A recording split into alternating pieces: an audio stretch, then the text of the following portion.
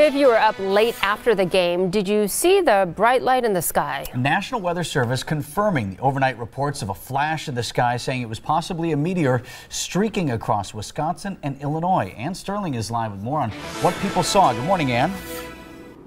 Good morning to you, Vince. In fact, the National Weather Service in both Milwaukee and Chicago now asking for people if they saw this light in the sky overnight, if they happen to grab their phone and get some images, whether it's pictures or video, they want that video. They want those images this morning. You have to take a look at what a lot of people saw, including people right here in Grafton overnight.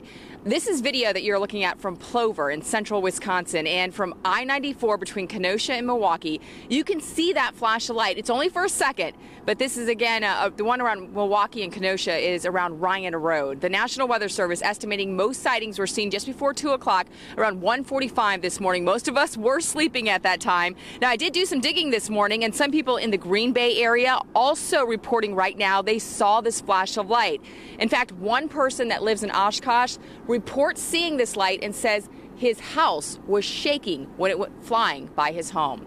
Reporting live in Grafton, Ann Sterling, today's TMJ4. All right, Ann, thank you. Five